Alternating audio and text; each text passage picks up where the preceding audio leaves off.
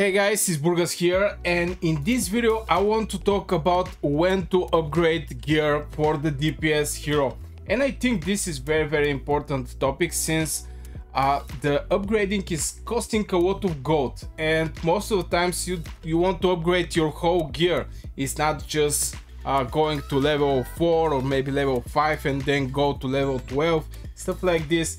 So it's more like also when to change your gear and stuff like this but in general at the beginning i strongly suggest get a lot of gear. And these crystals here what is iron ore you can actually go and get them on the map just moving with your heroes and there's a lot of iron ore.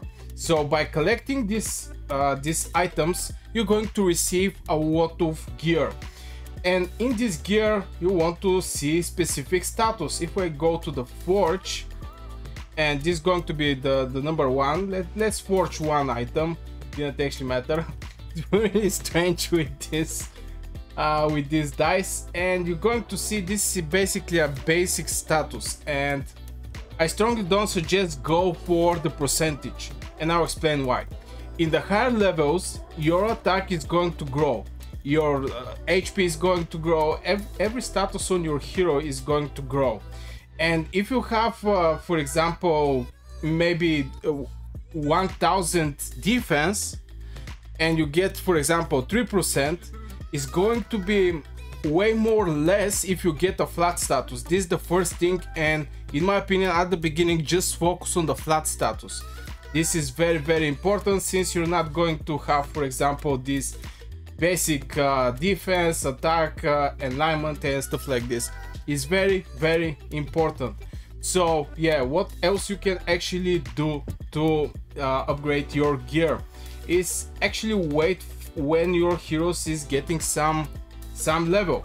When you get some level level, this is I think in my opinion the place where you should upgrade your gear to the percentage status and like this for flat status you're going to go to percentage status and the higher level heroes is going to boost this is going to get better boost from the percentage from the low level heroes. I think this is the most important rule the people should actually follow is at the beginning flat status. From there you can upgrade your gear to for example percentage status and this percentage status is going to bring more attack, more HP, more defense, more everything.